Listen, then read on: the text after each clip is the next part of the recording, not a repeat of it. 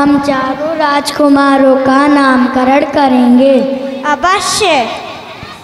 कौशल्या नंदन का नाम केवल दो अक्षर का है किंतु इतना महान कि अनंत ब्रह्मांड इसमें समा जाए। अखिल विश्व को आनंद देने वाले सुखधाम का नाम राम। राम। मेरे राम। रामचंद्र जी की। मैं बाद में। रामचंद्र जी की। जय हो। रामचंद्र जी की। जय हो। और चैताई छे इस लल्ला का क्या नाम होगा? धर्म स्वरूप जगत का भरण पोषण करने वाले केकई कुमार विश्व में भरत के नाम से विख्यात होगा। की जय हो। भरत जी की। जय हो।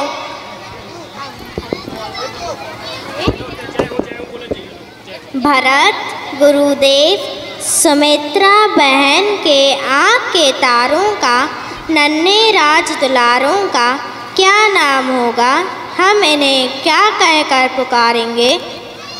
ये समस्त लक्षणों से युक्त है। इसका नाम लक्ष्मण होगा।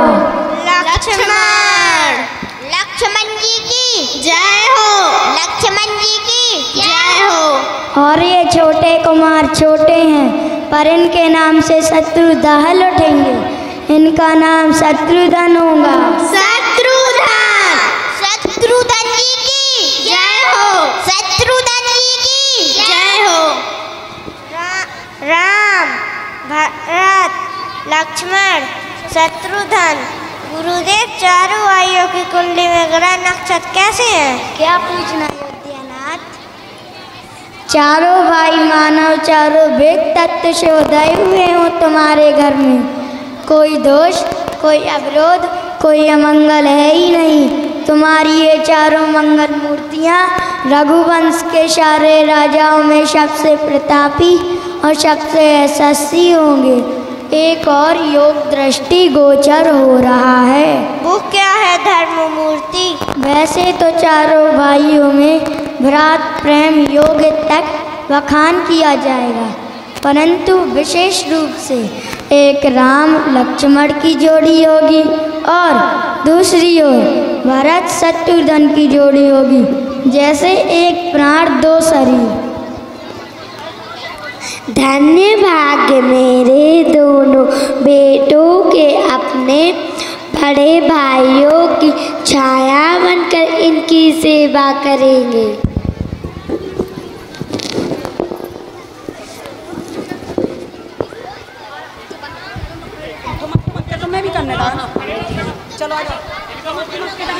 सभी बच्चे यहीं पे खड़े रहेंगे। ये अभी आपने देखा। नामकरण संस्कार